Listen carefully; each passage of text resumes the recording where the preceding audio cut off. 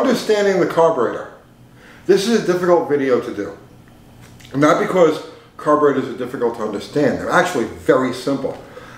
It's difficult to do because there are so many variations spread over so many different years and generations and models and everything else. Configurations of carburetor, you know, one barrel, two barrel, four barrel, uh, uh three barrel, Holleys, Edelbrocks, Webers, Carters, I mean Strombergs.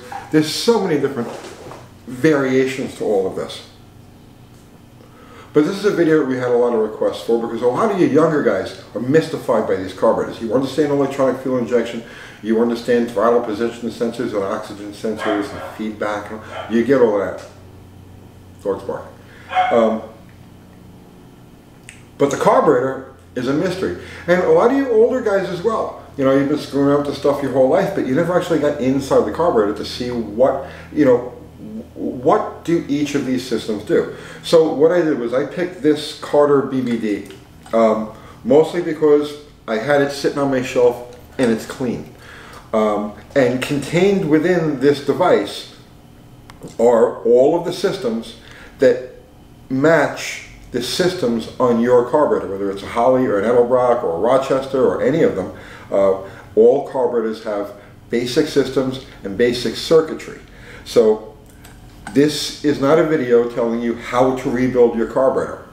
Um, it's not a video on how to fix your carburetor. It's not a video on how to tune your carburetor. Um, it's a primer course on the basic functions universal to all automotive carburetors. Um, so where do we start here? Okay, uh, we'll start with the external controls. And again, your carburetor, regardless of what it looks like, or what the make is, is going to have similar systems. And it's up to you to do the Google and the research to figure out how this applies directly to your carburetor. But let's start with the, with the, with the external controls right, with the, exter the external devices, and then we'll work our way inside.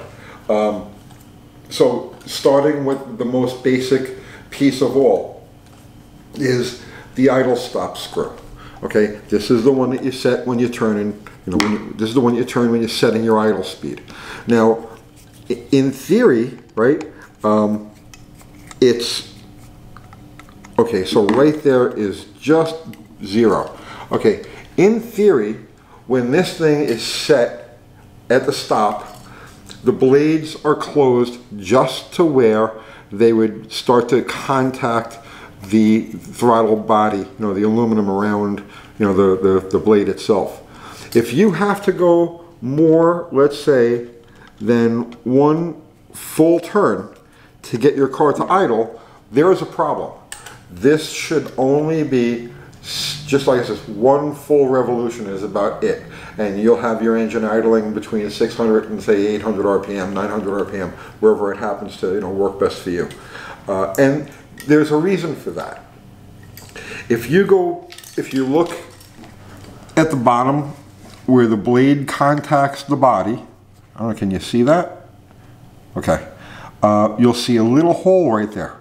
And that little hole corresponds with our next external control, and that's the idle mixture screw. So if we take one of these screws out, you'll see that at the end of them is a point. And if you were to screw this all the way in, that point would be blocking off that little hole there, okay? Um, this limits the amount of fuel that the engine sees at idle. Now, and these screws only affect idle. Now, uh, on, on most carburetors, they're at the base over here. On Holleys, you'll find them on the side of the metering blocks, oh, you know, right about here. But uh, most carburetors have them down in this area. Okay, now, the throttle stop screw set where it is is important because if you go any further than that point, you start to uncover what's called a transfer slot. So now I'm going to open the car, I'm going to open this a little bit more, and you can see right here, there's a slot. Right? Well, when that slot is exposed, you're bypassing the idle mixture. So you no longer can regulate the amount of fuel that's coming through there. If you can't get any type of adjustment out of these idle mixture screws, there is a problem in the passage. And we're going to get to that when we get further inside the carburetor. But that's your idle set screw. Those are your, throttle, those are your idle mixture screws. And it's important that they maintain that relationship so you get a good idle. All right. Now, continuing on the outside, there's a second screw on this carburetor. Actually, all carburetors have a, a high idle screw. On this one, it just happens to be located next to the idle stop screw. This one is attached to the choke. All right, so let's talk about the choke. Choke systems sent more carbureted cars to the junkyard back in the day than anything else because when they fail, it just it just wrecks the way the car runs. Um, foul plugs and whatnot. It, it, won't start right. It'll chug, and we'll, we'll, we'll get to that in a minute, right? Um, so essentially, all chokes operate on the same basic principle. Here's why you have a choke. Okay, when you go to start the engine, first start the engine, there isn't enough vacuum, right, to pull fuel through the idle passages. So what happens is if you close off the top of the carburetor like this with the choke plate, what you're doing is you're forcing 100% of the vacuum that the engine produces to pull fuel through these passages. Once the engine starts, vacuum comes up and it'll pull fuel the way it's supposed to.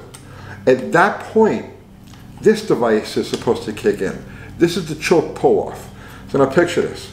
The engine is closed, the engine is, is cold, you just started it. As soon as you start it, this, this nipple here connects to manifold vacuum. So as soon as the engine starts, this gets pulled open like that and it pulls the choke about a quarter to a third of the way open. All right, and that's, that keeps the engine from loading up and fouling.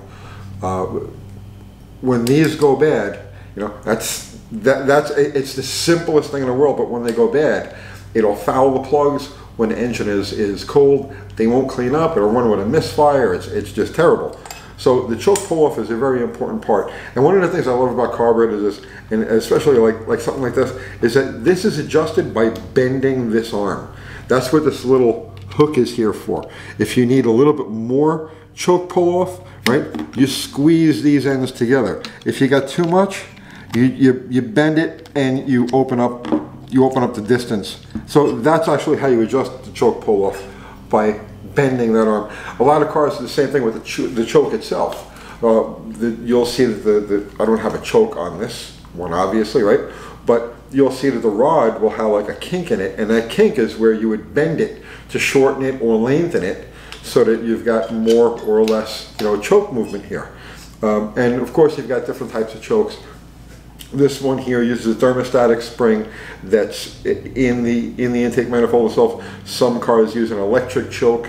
Some cars use a, uh, uh, just a hot gas tube that'll feed into like a, a, a heat well or heat stove. Um, but all chokes are comprised of a metallic spring that relaxes and, and tenses up depending on the temperature. So at any rate, that's the choke and the choke pull-off. All right, externally, what else do we have on this carburetor we need to talk about? Um, okay, this right here is very important. This is the bowl vent. Now, this is an 1870s style carburetor, so it, it, had, this was intended to be used with one of those uh, charcoal canisters. So it's got the bowl blocked off here and it has a vent, and this vent would go to the charcoal canister. Earlier carburetors would have, uh, like for instance on these BBDs, um, they had just a washer that fit, a slotted washer that fit over the accelerator pump hole. And all it did was just, just lay there and keep debris from falling into the bowl. Um, but that's, that's all it needs. Just, just, the carburetor needs to be open to the atmosphere. The float bowl needs to be open to the atmosphere so that fuel can flow out of the bowl and into the carburetor itself. But that's the, the, the bowl vent. Um, as far as external controls, I think that's pretty much it. So we can go inside the carburetor now. And um, again, like I said, all of these systems are, you know, universal. Uh, and it's up to you to do the research and figure out how it applies to your carburetor. You know, the thing about carburetors, right, is that, and it's been proven time and time again, um, in an ultimate horsepower situation, wide open throttle, right, uh, uh, you know, a, a, a, race, street race application, whatever it is, it's been proven time again that the carburetor will outperform EFI. Uh, where EFI has its advantages is in that cold start because you're eliminating the choke, you're using the coolant temp sensor to tell the computer to richen or lean the carburetor as opposed to relying on the thermostatic spring and, and all of that. Uh, and in the, you know, the fact that the uh, fuel injection will, will, will compensate for fuel quality, it'll compensate for altitude, it, will compensate for a lot of things that the carburetor, it, you know, it, it, it can't. Um, and that's not to say that a carburetor can't be tuned. You know, if you get inside and you know you you you you tailor everything for exactly the way it's supposed to be, it, carburetor can get within a mile or two per gallon of EFI. If you've got the, the, the choke and everything set right, uh, all of the, the idle passages are all clear and everything's functioning where it's supposed to. There's very, very little difference, functional difference between the carburetor and EFI. You know, the question is how much complication, you know, how much analog control do you want over the machine? How much complication do you want to the system?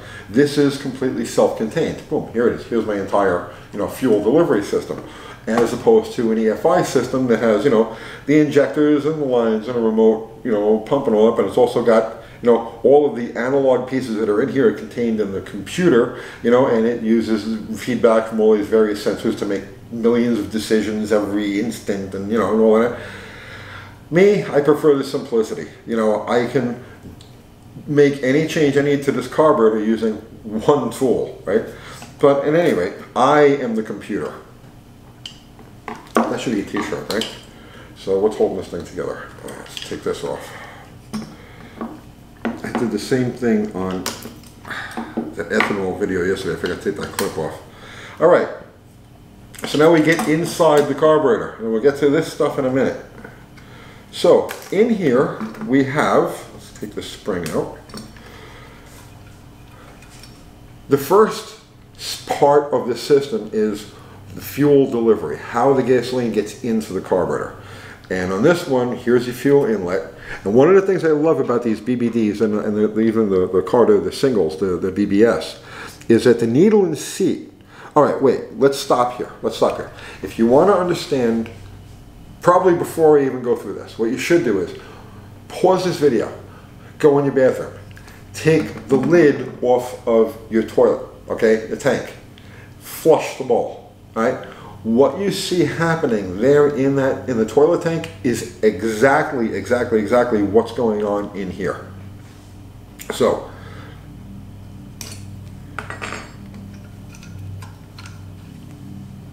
these are the floats, and in this one, here is the needle and seat. So you don't even have to take the carburetor apart to change the needle and seat on one of these. You just take the fuel line off and pop this out. So in general, this is the most troublesome part of any carburetor. When people say, oh, that thing is shot, it's dead, right? It's blowing gas all over the place. This is where the problem lies. And generally what happens is one of two things goes bad. Either through age, right? Um, okay, wait, let's, let's go further. The job of the needle and seat, right, is to shut off the flow of fuel to the carburetor. So fuel lines coming in, fuel pump is pumping fuel in, and this is a restriction. The bowl, the, the, the floats, Now, floats that are made out of, out of plastic and all sorts of phenolic resins and whatnot, but typically, usually, they're made out of brass. They're soldered brass floats, just like this. And this tab right here contacts the needle valve. So when the fuel level drops, the floats drop, the needle valve comes out, and fuel is allowed to enter as the, as the, the fuel in the bowl rises to the level it's supposed to be, it shuts that valve off and shuts off the flow of fuel. Now when they go bad, one of two things happens. Either this wears to the point that it won't seat completely into the, into the seat the way it's supposed to, or, and this is very common today, you'll get a little piece of rubber from a fuel line or a tiny piece of, of rust will get in there and it'll keep this from closing all the way when the, the, the float comes up and, and, and pushes on it. Um, when that happens, it'll just flood gasoline over the top through it, and you'll see it mostly come out of the bowl vent. But you can actually see it pour over the top. You'll see it dripping into the boosters. Um, generally, that's all it takes, you know, to, okay, so if you have that problem, all you want to do is give the carburetor a couple of taps.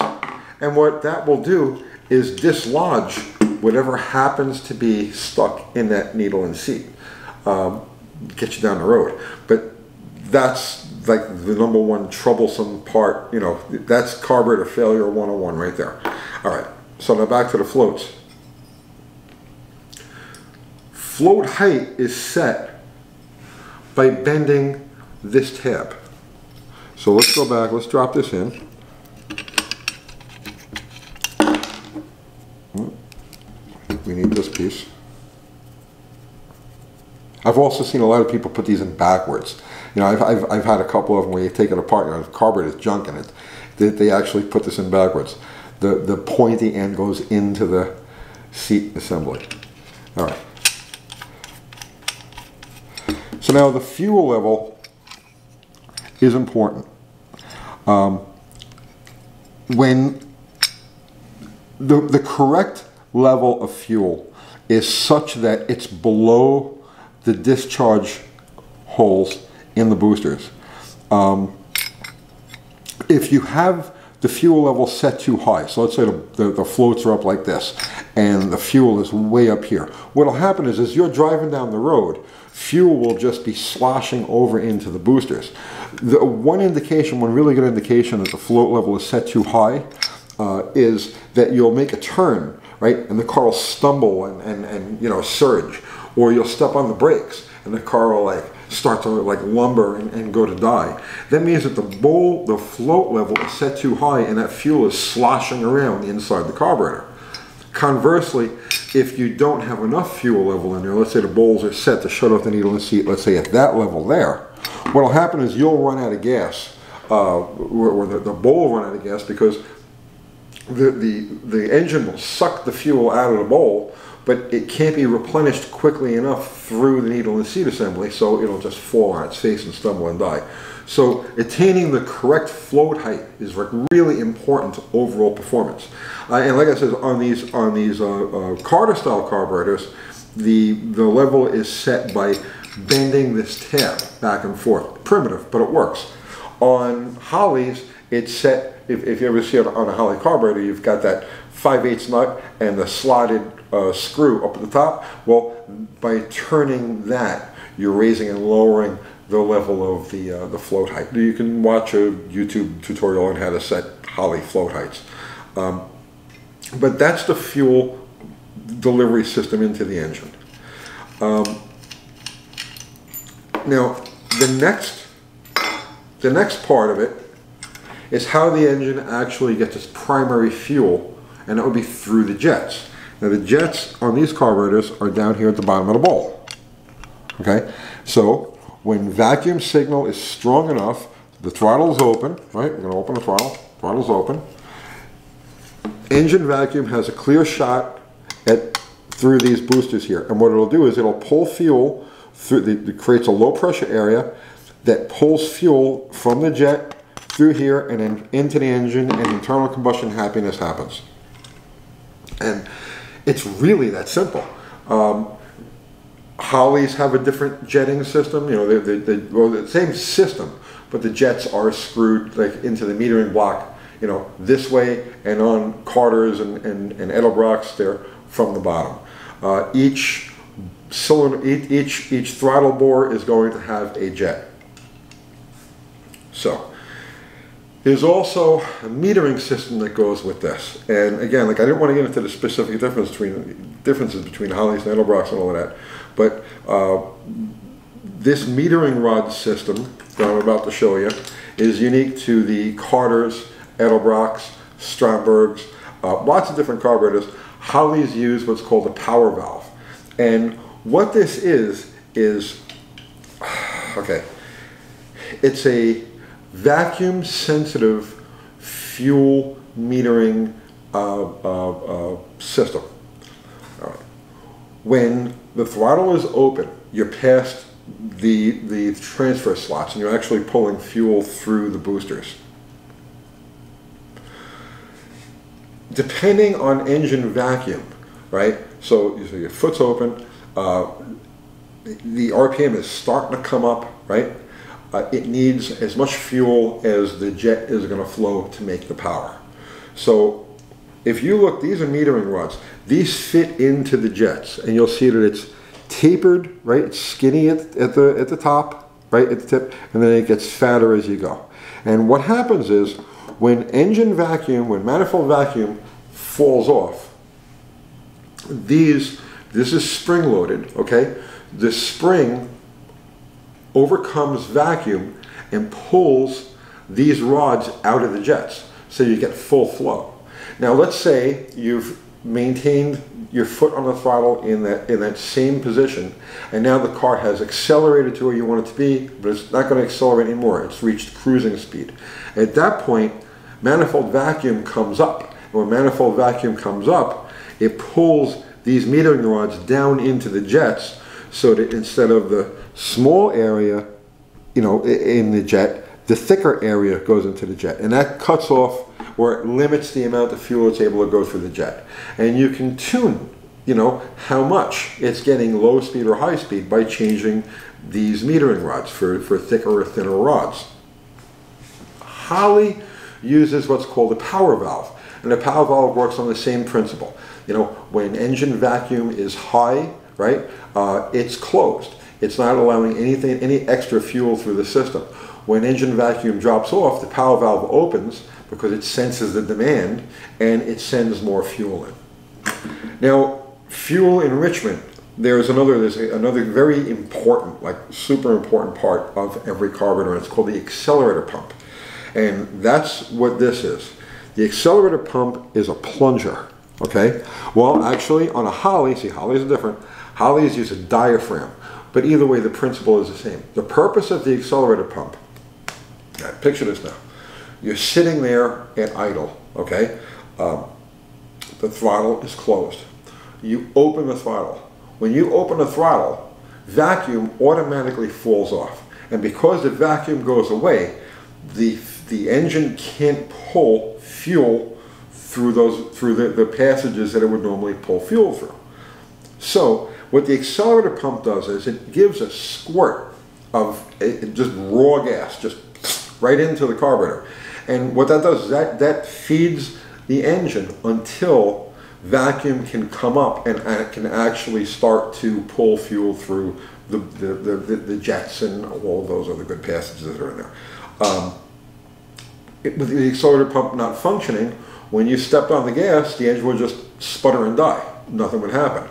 So super important. Um, and, and, you know, getting the adjustment on this right, again, depending on the type of carburetor that you've got, you can watch countless different tutorials on how to set and how to adjust and, and whatnot, you know, the accelerator pump to work, you know, so, uh, but that's its essential function. It's to just squirt raw fuel into the engine before the before vacuum builds up high enough that it can pull fuel through on its own. Um, and I think that pretty much covers systems. The only other thing I want to talk about was um, was, was was a peculiarity that, that, that, that's universal to all carburetors. It's only peculiar because it kind of defies common sense until it's explained to you. Um, a lot of guys will have problems with with low speed operation. Um, they're not able to get a clean idle out of it, or, or, or they're going to rebuild the carburetor and they go to clean out you know the passages, the idle passages. And common sense would say to yourself, well, you know, the idle passage you know, it's, well, here's the screw, and here's the hole, and here's the fuel bowl, so here's the gas. The holes must be here someplace, right? No. The idle circuitry has to be higher than the level of fuel that's in the bowl under normal circumstances. So, in other words, and the reason for that is because if it was at the same level when you shut when you shut the car off, the fuel from the bowl would just drain down through those idle holes. So the idle circuitry is actually incorporated into this booster assembly. On a, on a Holley, it's into the metering block.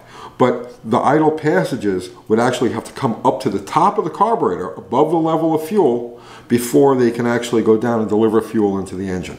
So when you've got a, clogged idle circuitry, you're going to find it up in here, not down in there. Um, and you know what? I think I think that pretty much covers like the basics. I think did I forget anything? I don't think I forgot anything. But if I did, look, I hope you got something out of this.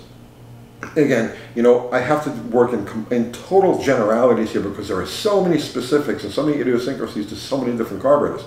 So you have to do your own, you know, your own research on your setup. But what I showed you here, you know, is you know, they're universal systems. And uh, you get a handle on that, and you know, you can have a really great relationship with your carburetor. You know, if you don't take the time to understand how they work and do the homework and everything else, and honestly, you know, you're really better off just putting fuel injection on. It's the simple turnkey, you know, forget it and go, way to go. Uh, but anyway, that's it. I'll see you tomorrow.